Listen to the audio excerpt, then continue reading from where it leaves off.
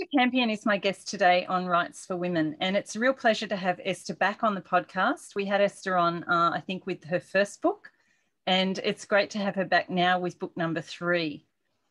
Esther is actually from Cork in Ireland originally and currently lives in northwestern Tasmania. Her debut novel, Leaving Ocean Road, was published in July by Hachette, Australia, and it's a story set across the landscapes of Greece, Ireland, and small town coastal Australia. It follows the life of Ellen O'Shea as she struggles to deal with her husband's death and an unexpected visitor from her past. Following leaving Ocean Road, Esther published the sequel, which was The House of Second Chances, in 2019, and her new release, which is actually out this week, is a house a week to remember. Um, it's a standalone, but it does feature some of the characters that we've grown to know and love in Esther's previous two books, as well as some brand new ones. Esther and her family live in Tassie uh, with an overindulged chocolate Labrador and two horses, which Esther firmly believes are living proof that dreams really do come true. Esther, it's so good to have you on the podcast again. Welcome to Writes for Women. I'm absolutely delighted and honoured to be here with you, Pam. It's great. Lovely to see you too. We've got we had a little bit of trouble getting everything connected, but we did connect finally, so that's great. Um, before we start with talk, launching into talking about your book, and I deliberately didn't give a blurb or anything for the new book because I'm going to ask you to do that for us. I did recently see a photo of you on Instagram where you were jetty jumping, and it really intrigued me. And I'm imagining it would be quite chilly jumping off a jetty down there in Tasmania. But can you tell us a little bit about that pastime? Well, um, I've been jetty jumping since I moved to Australia um, about 13 years ago now. I lived, as you know, in Port Lincoln in South Australia, and um, it was a great pastime there. And of course, I've been a swimmer all my life, and you know, we would do sea swimming. Well, we were mostly, you know, tank swimmers, but um, in the summers, we loved swimming together in the sea. My family would go on, you know, holidays by the seaside and all that. As teenagers, we used to cycle to the beaches and stuff.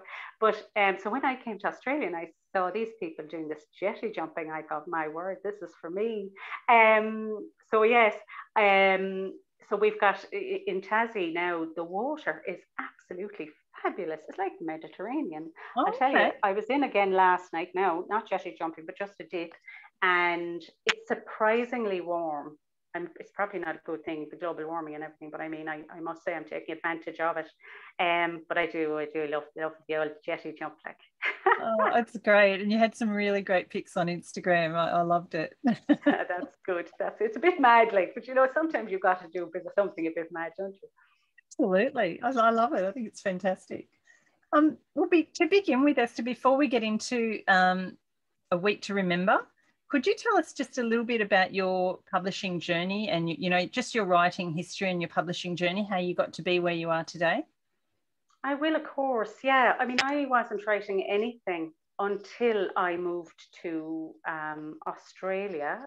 Well, no, I tell a lie. I was living in Norway and I tried a correspondence course in creative writing because I I had at, at the time firmly in my mind that writing was something that you you didn't just sit down and do you had to you had to go to sort of a class and a course and, and that sort of thing um, which of course is completely untrue i've learned since but um, then but I didn't like the correspondence course because you know there's no interaction, there was no cup yeah. of tea, it was boring as all hell.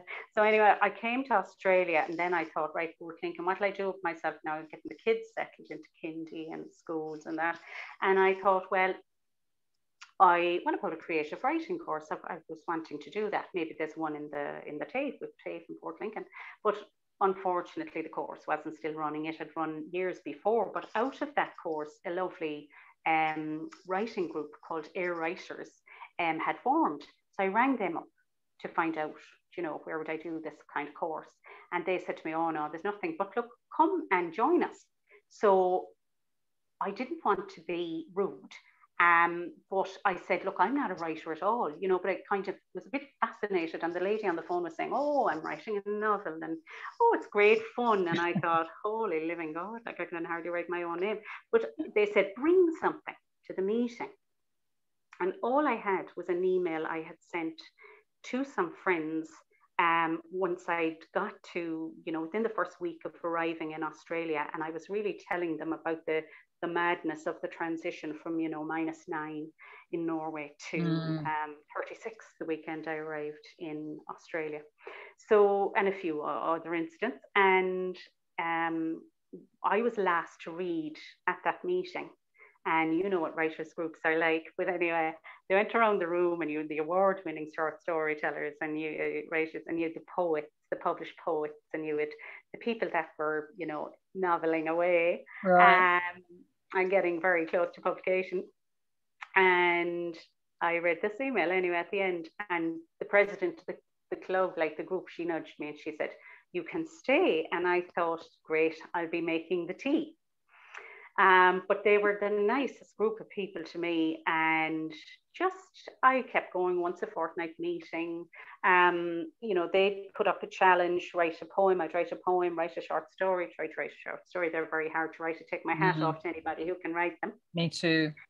Um, and then they had these retreats for week long retreats out a place outside Port Lincoln. And I was so envious of those people. But of course, I could never go on a retreat. A, because I wasn't writing a novel, it was only for novelists. And B, because my children obviously needed to be minded. But my lovely husband said to me, Why don't you go for a couple of nights and I'll mind to hold the fort, like you'll be fine. And I thought, Oh, isn't that lovely? And I thought, oh, There's only one problem I've no, I'm not writing a novel. So I started throwing down an idea had come to me in Norway and I started writing for all my lists to save myself. And I was accepted onto this thing, and I got a place on the retreat. And I went with 11 pages, and I came home, or no, by the end of the first day, I had about 22. And I thought, oh, wow. right. But it was the peace. Mm. And, and, you know, that silent sort of time in a writing retreat where, um, you know, it's just you and the page, but, yeah. you know, people doing the same thing behind you in the company and talking over things at night. And I just loved, I got hooked. And you know, I'm sure that, that first novel wasn't much good, like, but I started putting it out to publishers, getting my rejections. And I think somebody recently I heard on a webinar or something talking about your apprenticeship.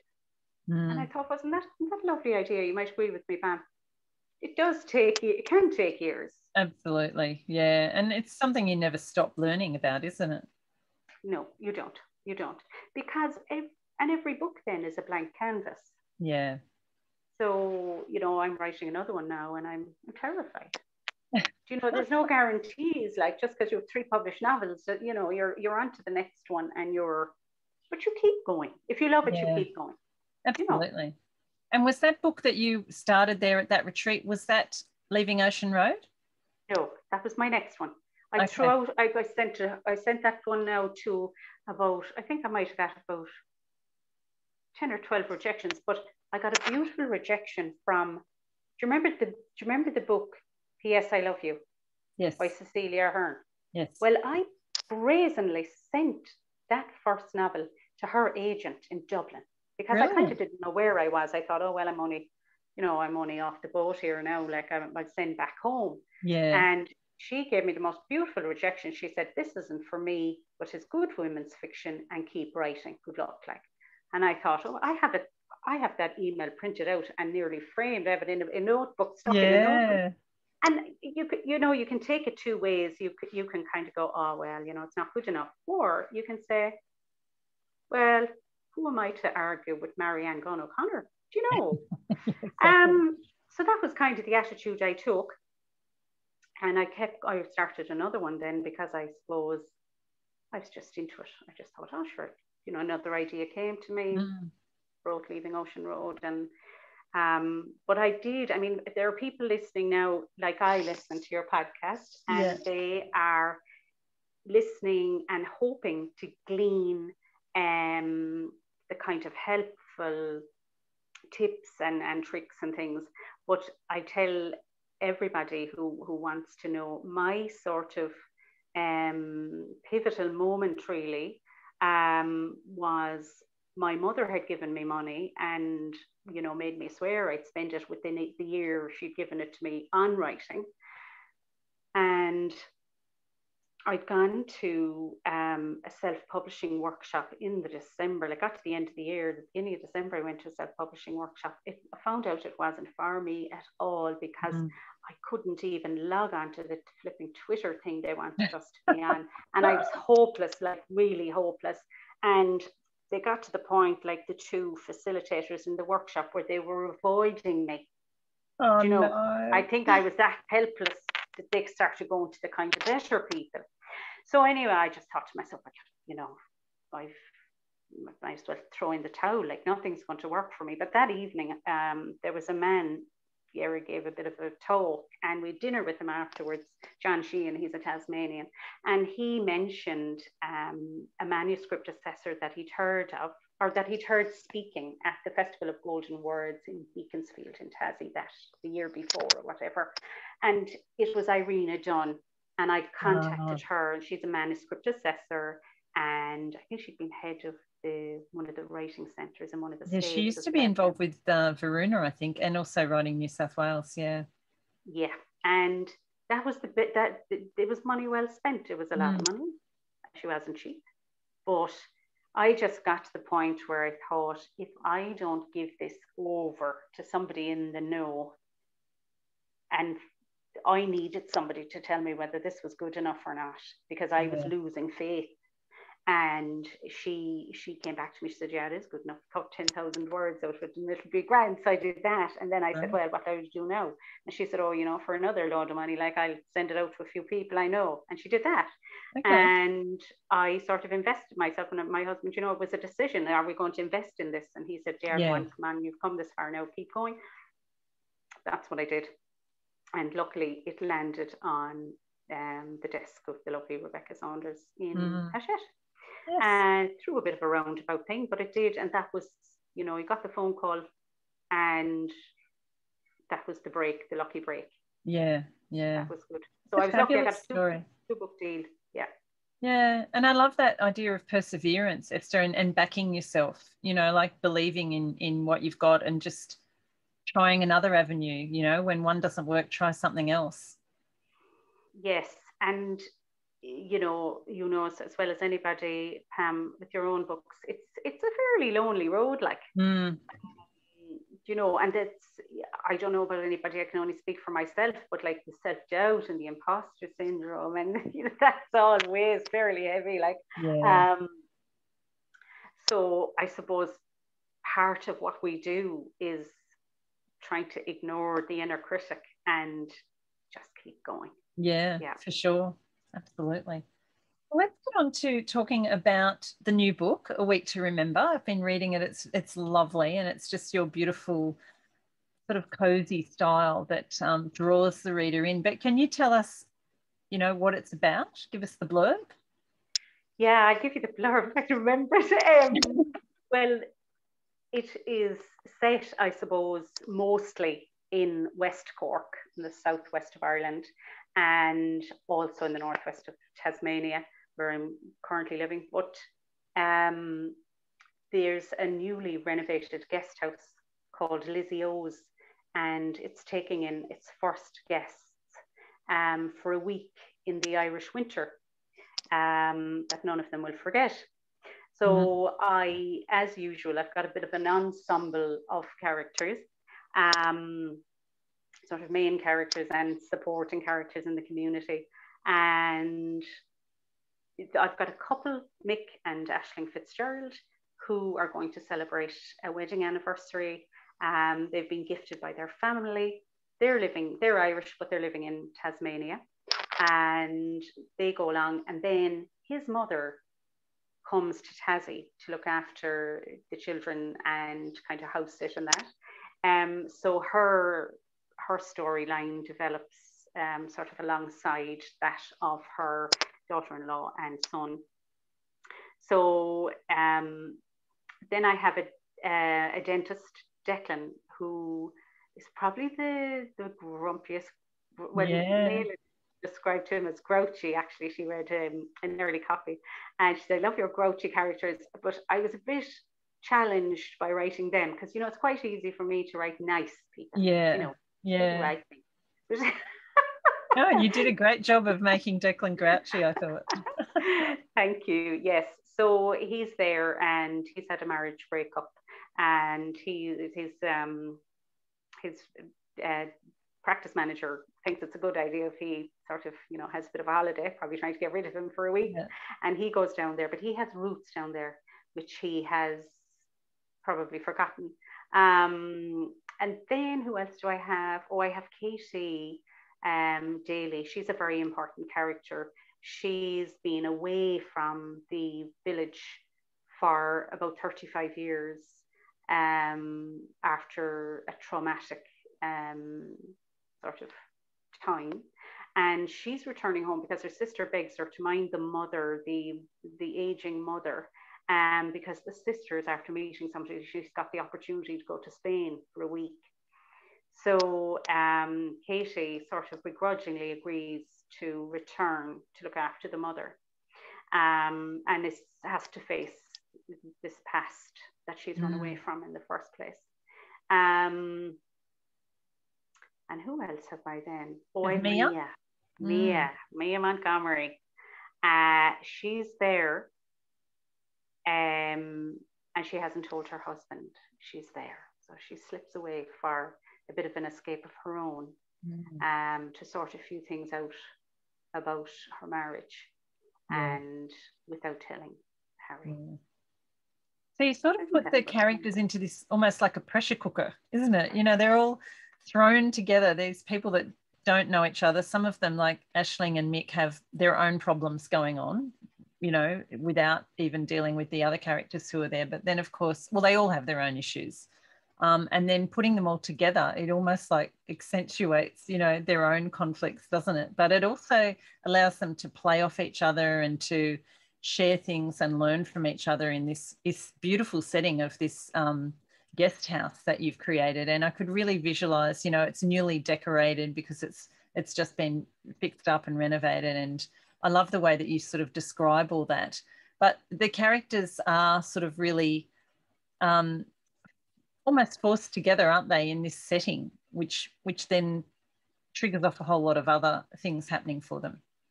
They are definitely Pam. And the thing about it is like when they get there first, they're um they're not there to to make friends really, you know, and to yeah. kind of have the, the, the partying of a night, you know. But of course the way it's set up is um there's a conservatory, uh, which is a di- the dining area, and it's got the um, communal, the dining mm. table. So they all they're all forced to. That's where they have to sit of an evening to have dinner, yeah. um, because dinner is is prepared um, by the lovely Ellen and Jerry. Um, so I suppose they're all holding back and trying to sort out their own stuff. Yeah. Um, yes, yeah. but inevitably, um, there, there, there are connections made between the different um, characters around the table. Yeah. It's sort of it's very relatable, I think, because I think we've all been in that situation. It could be a weekend away at a guest house, like you say, or a motel type setup, or it could just be a restaurant, you know, when you walk in and there's only the communal table left. And sometimes you just don't want to have to talk to people. And then you're yeah. sort of forced to sit down and, and be sociable and be friendly. And, and you find that it does, you know, your barriers do generally break down. So it's interesting to watch the way the barriers break down for these mm-hmm. characters to a greater or lesser extent as well. But how did you manage, Esther? You have got quite a lot of characters and storylines going on in the writing of this book. How did you sort of manage that? Do you just start with one character and go and see what happens and then introduce the others? How do you do that structurally? Yes, that's exactly how I do it. I mean, I'm very much um, a pantser, pan, you know, with the writing by the seat of the pants sort of technique. Yeah. Um, but uh, like, I actually started that book with uh, Mia Montgomery. Okay. Um, even though the book doesn't open, I think the book opens with Ashling mm, on yeah, yes. on the beach having a walk with their friend, yeah, in Tassie, uh, still in Tassie. Um, but yeah, I started with Mia, and then I suppose like as it went on, it just moved kind of scenes and people around and, and stuff like that. But the editing was brilliant um, from Hachette, the publishers. You know, I mm. had fabulous editing help, but of course, editing you've got to you've got to have a bit of a thick skin because you know. Yeah you put in the book, and then there's in my case, I mean, I remember going to a writing retreat, and and my friends were there was saying, you know, what are you writing, Esther? And of course, I was saying, well, you know, I've got this jumble of characters, you know, and they were saying, but that's okay, like that you always have a jumble of characters, you know. And I was like, well, but this is a re jump. But I think I ended up killing a couple of darlings because um, there was a lot going on. But to be fair, I like that, you know, yeah. in my yeah. imagination. I like the kind of the buzz and the, you know, who's, you know, I love the supporting characters. Like yeah. there's a character there, I don't know if you remember Orla. Yes. Um, you know, different these different characters, mm. like a couple of teenage girls belong to the neighbor up the road in Tassie. You know, these yeah. people, they're all part of it for me. And it's I suppose, world building, isn't it? Almost. It is. Yeah. it is. Um, but the editors were very much like, come on, Esther, there's a limit to what the reader can take, you know, just calm down, like. and um, but I suppose just you're better off you know, having having more and being able to cut back in the rewrite than than the adding on. You know, I suppose yeah. that's you know practically. Yeah, it's not it's a bad thing to. Sort of reminds me of like a tapestry, you know, and you have your big main pieces, which you have your characters, and then you've got all these little smaller interconnecting pieces, you know, but it's all part of one whole. Um, mm. I enjoyed that about the book. That's really good because yeah. that's why I loved writing. I love writing the kind of community that we ended up with. Like, you know, it's good. Yeah, yeah. And of course, it's set in, as you say, both Tasmania and Western Cork. Um, yeah. And we've been to that particular setting in, in Cork before because it's the it's the guest house that Ellen and Jerry did up, isn't it? Exactly right. Yes, Ellen and Jerry um, uh, got the um, the Ellen's friend Colette Barry an interior designer, mm. and Ellen's brother Aidan O'Shea uh, to renovate the house. So it's the O'Shea family home, mm. um, which the which is is now called Lizzie O's, um, in memory of the grandmother. Yeah. So this is where the the, the action is set. Yeah. And was it, is it, do you love going back into that setting each time? You know, when, even though this is a standalone book, you know, you are going back to that setting and revisiting some familiar characters. Is it sort of like, you know, meeting up with old friends again for you?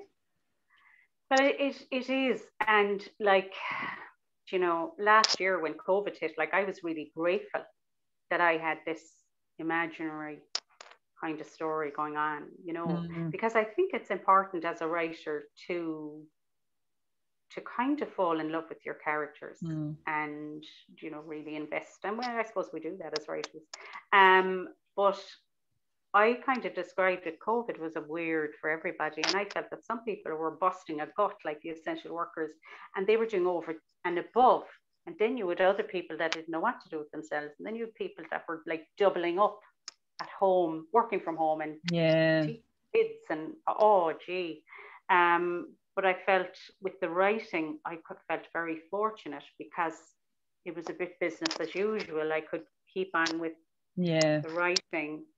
Um, well, it would, would have been the rewriting, I suppose, at that stage of the book. Um, but it was a great comfort, and I kind of felt it was like, yeah, you know, when you unzip a tent, and you get into the tent, and then you zip it back up behind you, and you're in this kind of a bit of a cocoon so yeah, I, I loved I loved that, you know. Yeah. And the whole I mean somebody asked me recently if I get home very often and I actually don't.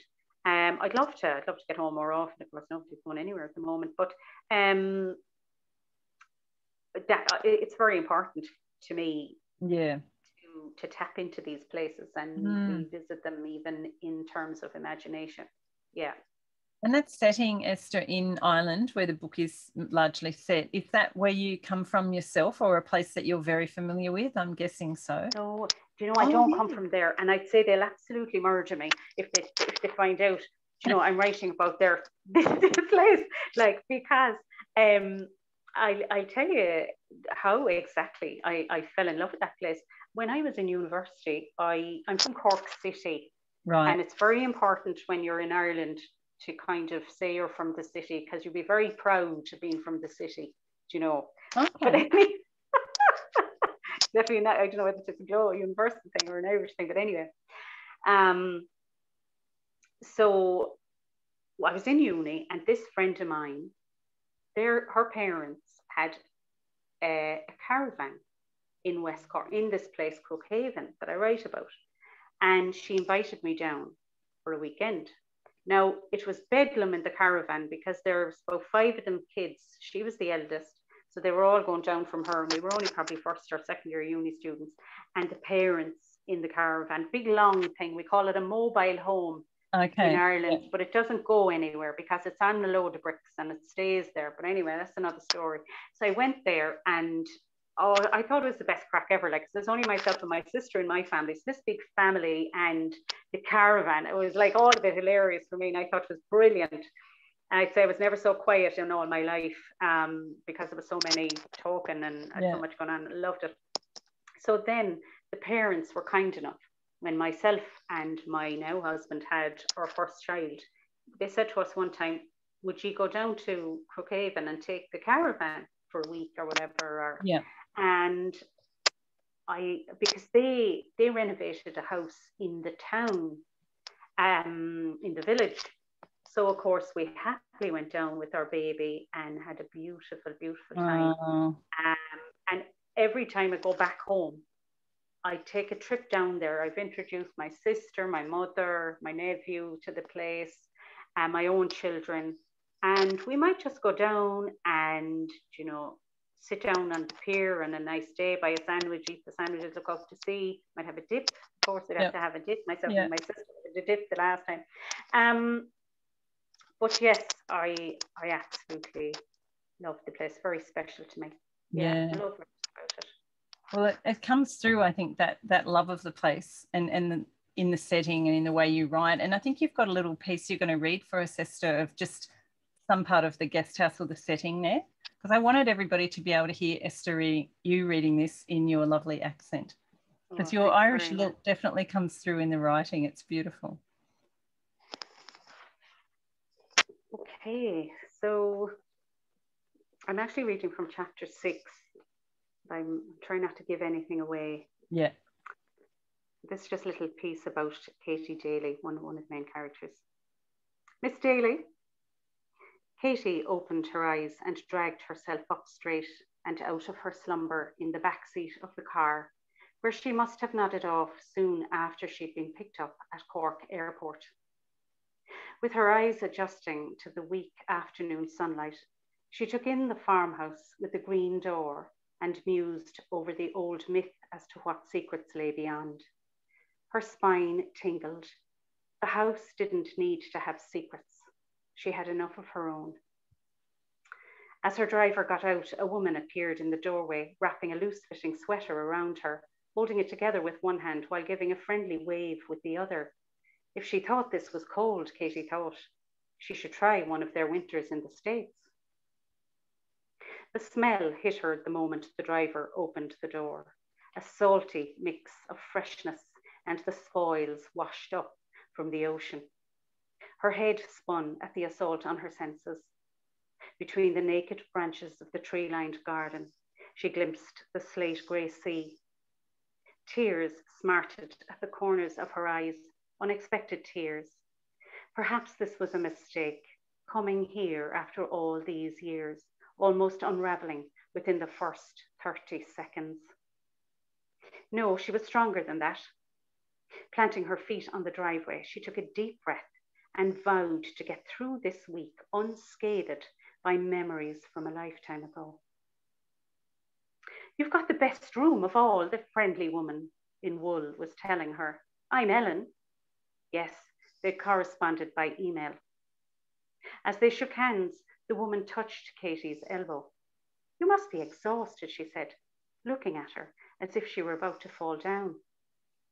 Come on and I'll show you where you are. Katie smiled inwardly. She knew exactly where she was, but Ellen O'Shea didn't need to know. She let her lead the way. acknowledging a certain intrigue as to what had become of the old O'Shea family home. Thank you, Esther. That was a really great piece to select too. And I, I had a, I found Katie a really poignant character actually. She, you know, she's in this situation where she's in a place she really doesn't want to be, but she's got this family obligation. And did you, when you were writing, you know, we did say there, there's a lot of characters here for you to write and develop. Did you have any that you were sort of drawn to more than others and, and any that were difficult for you to, to develop the way that you wanted to? Well, Katie would be a case in point, definitely, um, because I felt that you know some themes around the about of around her character mm-hmm. development as I got to know her and sort of worked out what had happened to her, why she had been away for so long. Um, I found that um, challenging, but also um, quite interesting to mm. explore.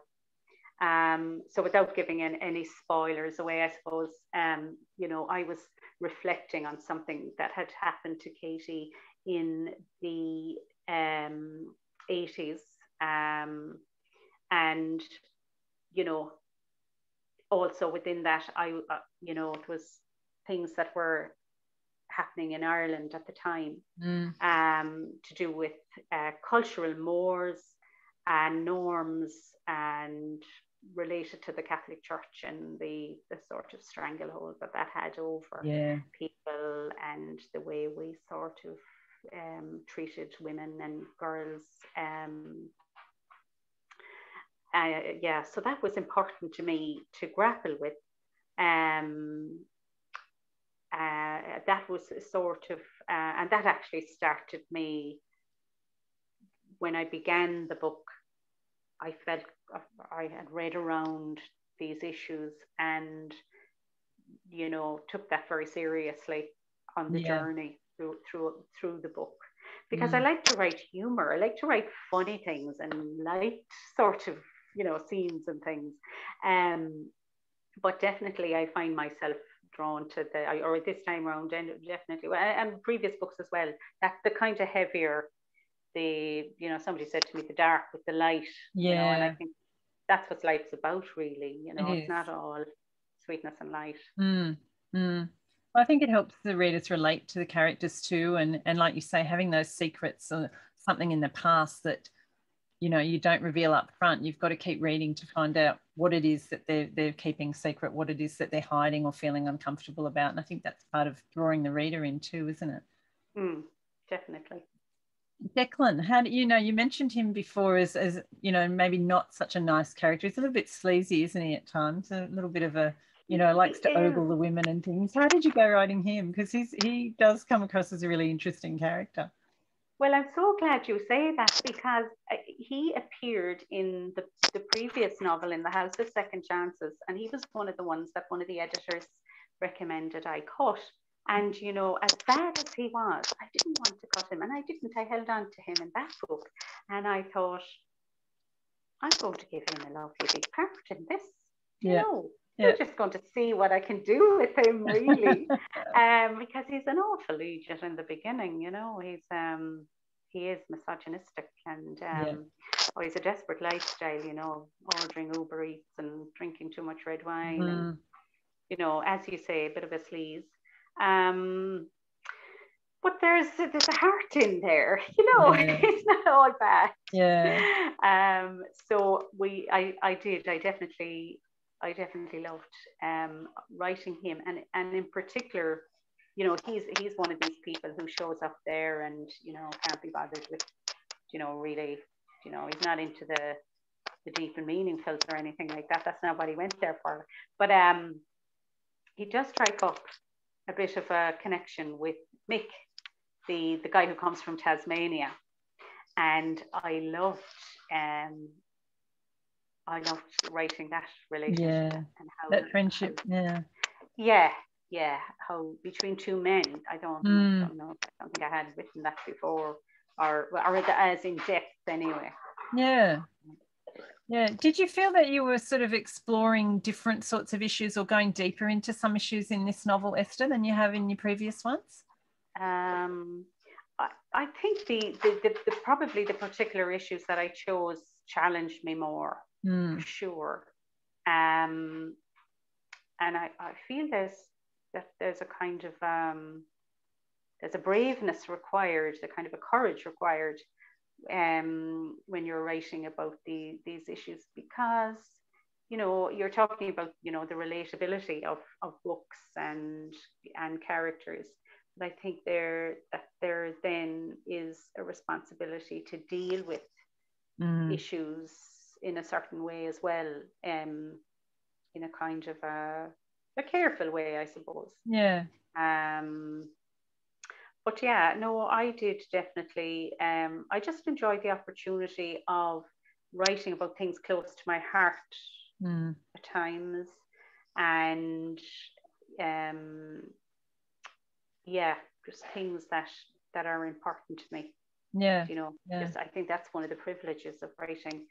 Um, well, I mean, I only write fiction, but um, you know, just teasing out some of those issues and how painful they can be for people, but also the um, you know the themes around reconciliation and in particular, uh, well, yeah, exactly forgiveness. You know? yeah, yeah, and um, human kindness. These sorts of you know um, traits that I suppose somewhere we all we all have deep down. Yes.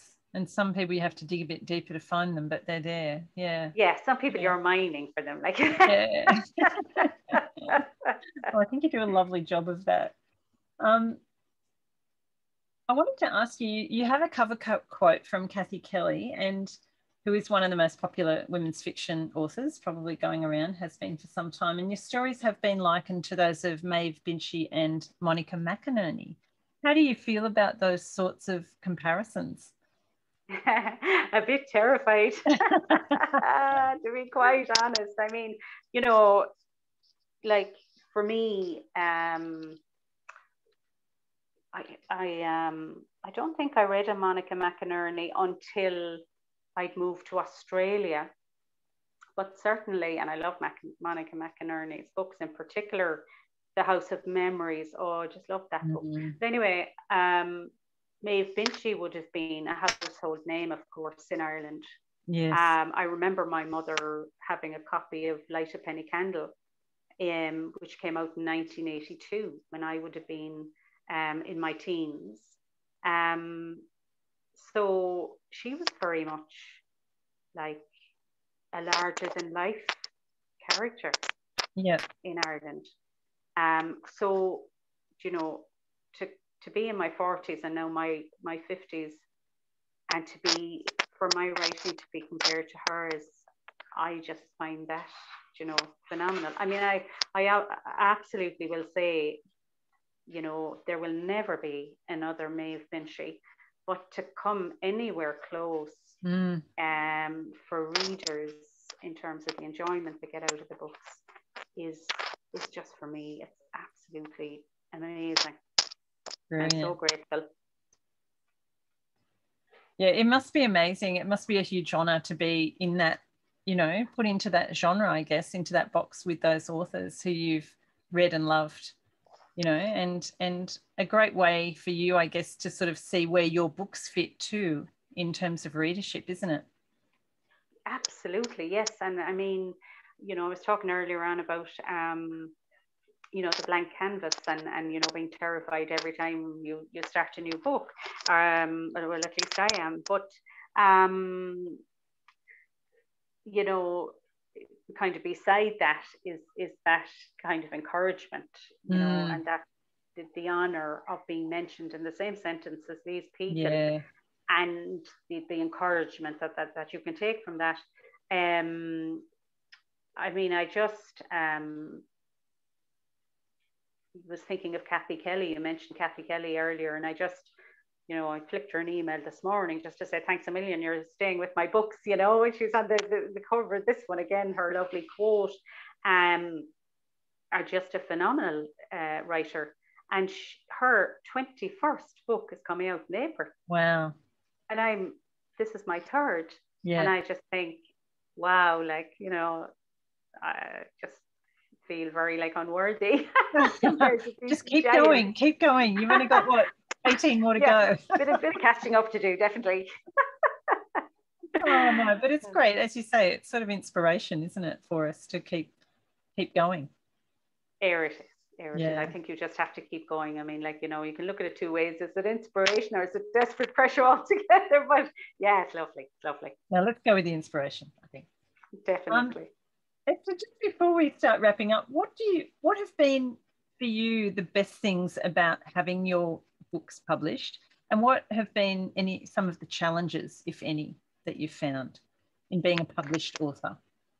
Uh, well, the best thing ever about being a published author is the connections to uh, people generally, um, but in particular, people uh, that like I would have been close to, you know, maybe when I was in my teens and my twenties, and that that have kind of you know we've we've got this thing now like to kind of connect us not that we did we ever needed that really but um I just love that. I love the, and even people I don't know, just nice, you know, people say nice things about you. Like, I mean, I think the world needs, you know, the kind of mm. that kind of encouragement that we, we give each other. You know, yeah. um, I think it's a lovely thing, uh, and um, yeah, I, that's the, the nicest thing is connecting with people. It's Absolutely above everything. Yeah. Um, you know, the conversation we're having now. I mean, you and I met at um, uh, Romance Writers of Australia conference in Adelaide a few years ago, yeah. you know. And it's those sort of kind of moments where you kind of like a touch point um, where you meet somebody that you you connect with and you you're kind of like a bit like minded you're doing a similar thing. Yeah. um and then you, but you don't get the option but this is giving us an opportunity to reconnect which which is lovely right. yeah. Um so any particular challenges of being a published author? I think um, definitely the the kind of the, the pressure to, to, to, to produce another book or another mm-hmm. you know. But i think as you said you know and you know i was saying earlier a lot of that is in your own head. I think you know the most important thing about writing is to just sit down and do it really like and get over yourself you know. For sure yeah. And you said you are working on another book at the moment.